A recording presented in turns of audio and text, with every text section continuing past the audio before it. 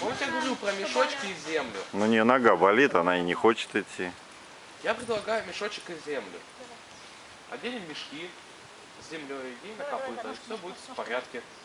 Да? Хорошая, красивая ножка. Смотри, какая красивая ножка. Ну, все, можно пускать. Хорошая ножка. Молодец. И здесь красивая ножка. Давай. Пошли. Молодец. But uh,